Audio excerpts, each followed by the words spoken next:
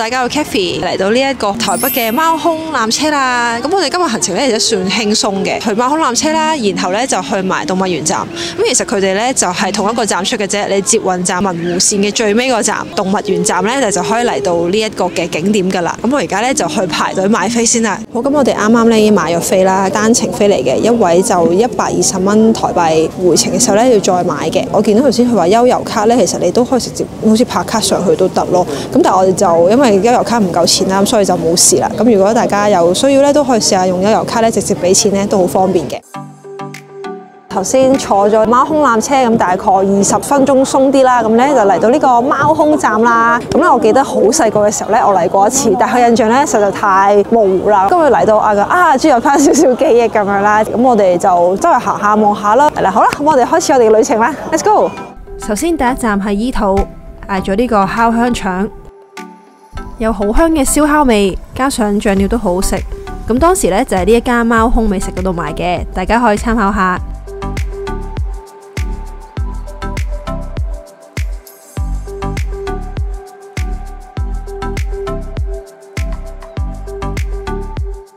原來貓空纜車呢邊咧都幾多嘅一啲 cafe 啊，跟住種茶嘅地方咯。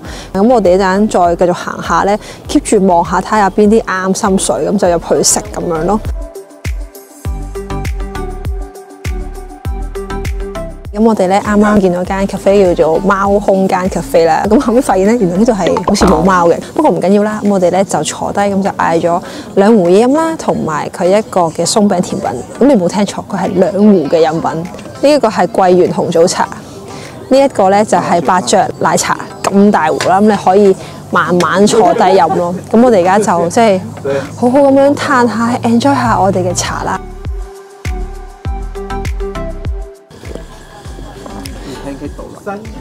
啱啱個 pancake 咧都嚟咗，共係有一二三四有四嚿咯，再加一劈嘅 cream 啦，然後再加一個嘅蜂蜜嘅。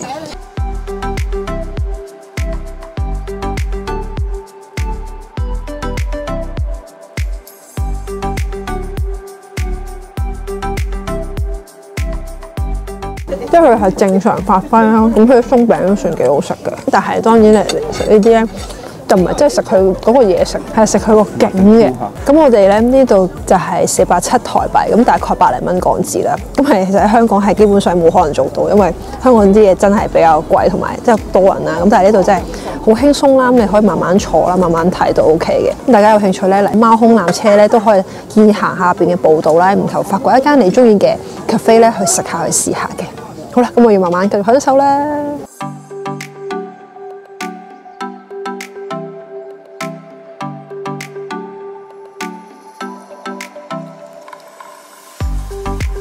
去完呢個貓空纜車之後呢，第二站就嚟到隔離一個台北市動物園啦。入場費用呢就係每位成人就係六十蚊。其實你可以直接用嗰張悠遊卡咧都入去就得噶啦，費事找錢咁麻煩啦。咁而家就跟我一齊入去睇下呢一個動物園有啲咩睇啦。呢張係動物園嘅地圖，分為多個區域。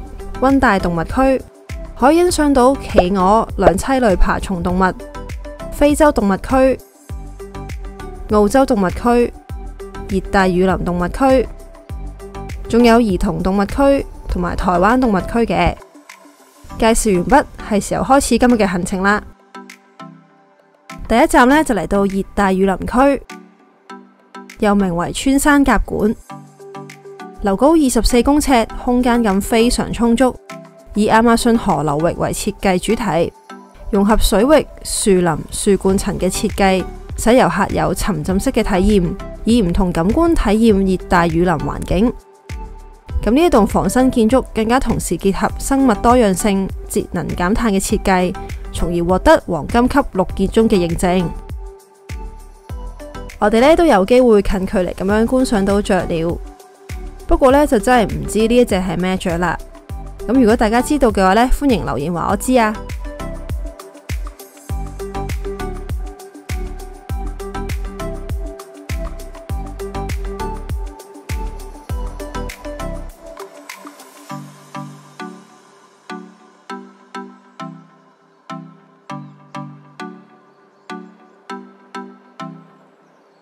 下集呢就嚟到快樂雞莊，咁只係隔咗一塊嘅玻璃啦，但係都可以好近距離咁樣見到啲雞隻嘅。以前嘅雞呢，就要喺呢啲格仔籠嗰度生產雞蛋，咁其實都冇乜活動空間，就唔太人道嘅，對佢哋嘅腳呢都唔太好。所以而家啲雞呢，就唔需要混喺一個地方嗰度生蛋，佢哋可以自由咁樣選擇個安全嘅地方去生蛋。咁當然啦，呢啲蛋嘅價錢就會貴好多啦。食好住好，作為人類嘅我呢，都好羨慕啊！下一個睇嘅動物呢，係狐獴，佢哋主要喺非洲西南部干旱嘅大草原或者灌木叢生活。狐獴嘅警覺性非常之高，會輪流做哨兵，一眼观七。偵測遠處嘅天敵或者侵略者，有危險嘅時候呢，會即刻呼籲大家戒備或者撤離到洞入邊。所以呢，成日都會見到佢哋咁樣企喺度噶，或者呢，就企喺高處，可以大範圍咁樣觀察成個環境嘅。但係咧都有機會俾我哋見到冇乜警戒性嘅狐獴，咁去隔籬玩啦，然後好快咁樣發現咗我哋，所以轉頭呢就行開咗啦。咁其實四年前呢，我都出過一段片呢，係介紹奧克蘭動物園嘅狐獴。咁大家有興趣都可以撳翻右上角嘅 link 重溫翻噶。下一隻睇嘅呢，就係馬來貘啦。佢哋最明顯嘅特徵就係黑白相間嘅身躯，有好長嘅鼻，因此佢哋嘅嗅覺呢，相當之敏锐，可以用作偵測食物危險。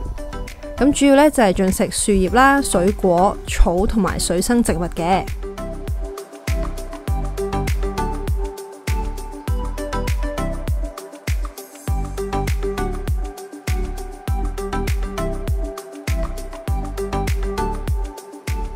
估唔到呢，可以喺動物園見到駱駝啦。咁我好似都係第一次見到嘅啫。呢一款呢係屬於雙峰駱駝，主要分布喺中國西北部蒙古地區嘅戈壁沙漠。咁佢哋嘅驼峰呢，原來就唔係儲存水分嘅，而係脂肪。咁喺食物充足嘅時候呢，駱駝會攝取足夠嘅卡路里儲存去個駝峰入邊，因此佢哋可以長達四至五個月都唔食嘢噶。我哋咧都有機會見到長頸鹿，見到佢哋爭食嗰啲葉呢，真係覺得好可愛啊！